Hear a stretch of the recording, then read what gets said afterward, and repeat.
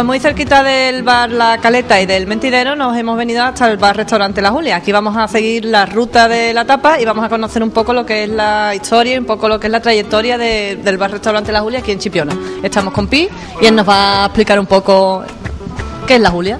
La Julia es una finca que se encuentra entre el término municipal de Rota, que era una finca donde vivían mis abuelos.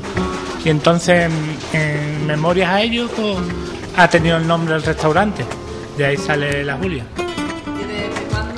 Desde el 2006 llevamos abierto con, creemos que con mucha aceptación y un poco de innovación aquí en Chipiona y creo que estamos teniendo mucha aceptación.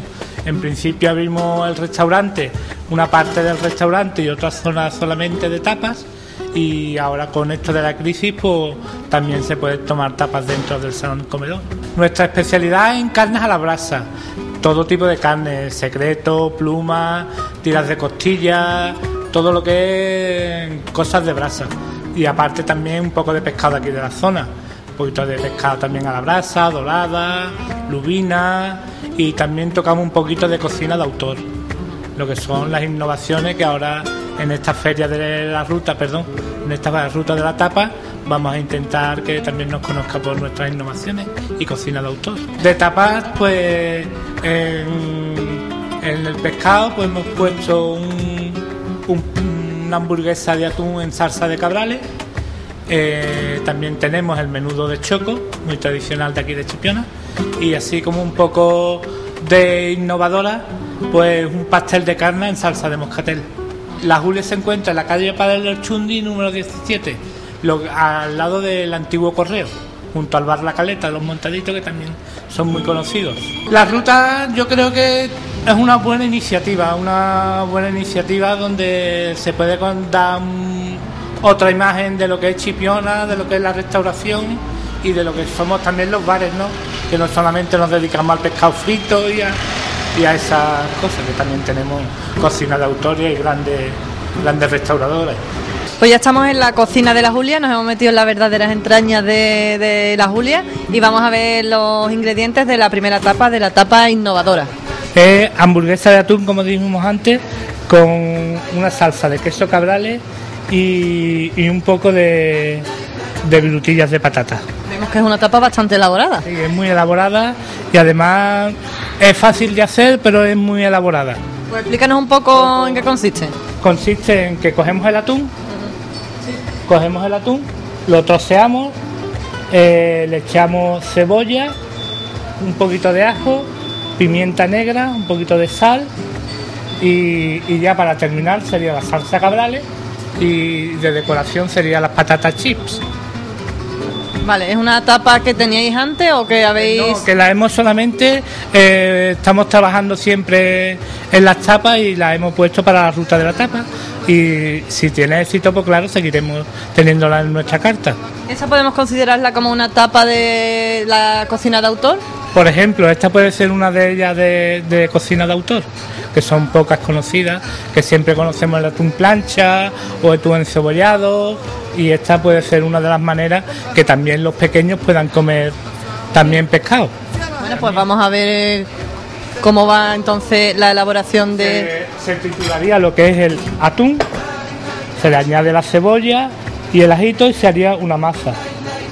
Una masa como veis aquí bastante como una hamburguesa de todo picado Ahora, que facilitamos también lo que es la comida de los más pequeños a este tipo de... Por ejemplo, y también para las amas de casa, para que no siempre caigan en la misma rutina. Si ven en el programa, que yo creo que, deberían las amas de casa de ver también un poquito de cocina, para que cambien también los hábitos alimenticios y un poquito de... Por lo menos para darle idea. Para darle idea también es importante, aunque las amas de casa también dan mucha idea a los restaurantes, que gracias a ellas muchas tapas son de amas de casa.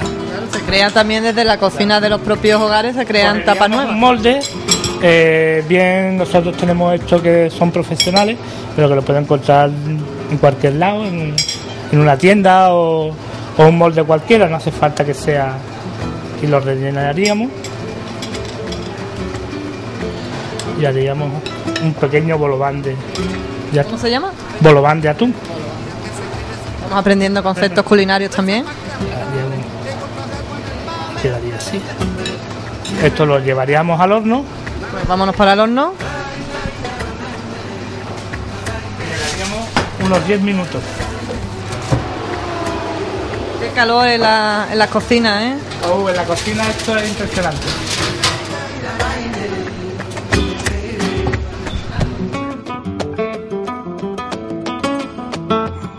Ya estaría hecha el, el tiempo transcurrido, unos 10 minutitos más o menos, y lo sacaríamos del horno. Y ya montaríamos el plato. Queda como una verdadera hamburguesa. Lo salsearíamos con la salsa cabrales. Qué buena combinación. Sería. Ahora lo vais a probar ustedes mismos. Ahora les vamos a decir lo bueno que están las tapas. Que aquí en la Julia siempre están buenas las tapas. Los cocineros lo que queremos es sinceridad, no que nos engañen. Hombre, pero si no, no avanzamos, ¿no? Claro, si no. Eso como todo en la vida, la sinceridad lo primero, si no, uno no avanza. Y ahora el adornito. Con las patatas chips. De hecho, con una mandolina o un simple pelador de patatas, si quiero lo puedo enseñar, se puede conseguir. Y aceite muy caliente. O sea, la presentación Es de... perfecta. Eso es ¿Eres imprescindible. muy perfeccionista? Sí, suelo, suelo ser perfeccionista. Pues mira cómo nos queda esta tapa. Que digamos que es la tapa innovadora que habéis creado. La de hamburguesa de atún en salsa de cabrales. Pues así queda. Entonces ya vamos a ver lo que nos queda. Venga, pues vamos con la siguiente tapa que nos podemos encontrar en la ruta de la tapa, que esta sería la tapa al moscatel, Al ¿no? moscatel, sí. Esto sería un pastel de carne con salsa española y, y una reducción de moscatel del vino aquí autóctono de Chipiona. Ingredientes que llevaría. Eh, llevaría carne picada de cerdo y ternera, llevaría huevo, llevaría pimienta, un poquito de especies, sal, un poquito de, de perejil y un poquito de cebolla picada. Vale, y lo que es un poco la La elaboración. elaboración, si quieres, las podemos ver ahora mismo. Venga, pues vamos a ello, a ver cómo, cómo va esta tapa. Cogeríamos carne picada. Ya dependiendo de la cantidad y los ingredientes, lógicamente. Vemos también que es una tapa bastante elaborada. También las tapas que se hacen en cocina así de, de autor, todas son muy elaboradas. Para esta cantidad más o menos que sería medio kilo, utilizaríamos dos huevos. Cómo abren los huevos los cocineros, ¿eh? Ya la costumbre, la velocidad, todo te hace un poco... A cambiar. otro ritmo. Un poquito de pimienta, muy poquito, sin abusar de las especies tampoco, y un poquito de sal también. ¿Esta la teníais antes como... o también es nueva? Todas las tapas menos el menudo de choco, que sí lo teníamos en carta, las demás son innovadoras para la, para la ruta de la tapa. Estoy siempre con la feria, la feria. Claro, porque va- al final esta ruta va a desembocar en una feria. Y también le, le vamos a poner un poquito de, de licor de, de naranja amarga. Un poquito de licor de naranjita amarga. Es un toque ya especial de los cocineros. Las tapas estas las podemos encontrar los fines de semana. En, en el restaurante lo vamos a tener durante toda la semana, porque pensamos que es un poco contrario, porque la gente de aquí, lo mismo los fines de semana se van fuera y, y si solamente las tenemos los fines de semana, Pero el precio, digamos que... a dos euros. También sería igual que el fin de semana. ¿no? Venir también entre semana para probar las tapas. Podéis venir, que estamos abiertos de lunes a domingo, no cerramos ningún día de la semana. ¿Descansáis? No, vamos, nos vamos turnando, porque ahora mismo con la crisis, bueno, También tenéis, hemos dicho lo que es la parte del restaurante, de las tapas, pero fuera también para tomar el sol. también, también tenemos una terracita ahí un poco peligrosa por los coches, pero bueno, Pero bueno, eh, cuando se corta, el tráfico. hay mucha gente que hemos dicho antes que nos ve de aquí de Si Chipiona, que la pero masa os queda un poquito líquida, como ahora está quedando un poquito líquida, se le puede añadir un poquito de pan rallado. Pan rallado, un poquito de pan con mojado en leche un poquito y ya quedaría consistente. Ya el siguiente paso, que como es la tele y, la sería mucho que tiempo, pues sería unos 40 minutos al horno. Que así había quedado después de, de los 40 minutos. Es preferible que se quede enfriar la víspera. O sea, si lo quieres para mañana, pues hacerlo el día antes siempre, ¿no? Y los hemos cortado y ha quedado un trozo, se puede ya cortar como queráis, ¿no? Vosotros lo presentáis así. así, la calentamos, vamos, un poquito de aceite, No me quiero cruzar. Quiero que lo vean bien. Echamos un poquito de aceite de oliva. Y marcamos un poquito para que esté calentita la carne. También para más rapidez se puede hacer en el microondas, pero para que veáis. Como la- vosotros lo, lo presentáis, digamos. El aceite de oliva es fundamental en la cocina. Siempre. No excesivo porque pecamos muchas veces de, de mucho aceite de oliva. Siempre pre- el aceite en la medida, Como todo en la cocina. como todo siempre. Y ahora se marcaría.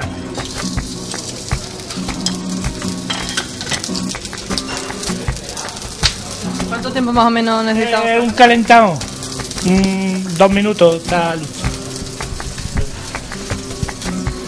Este es también, digamos, un plato para toda la familia. Para todo. Esto es bien para toda la familia. Bien te puede servir de aperitivo, de primer plato, de segundo plato.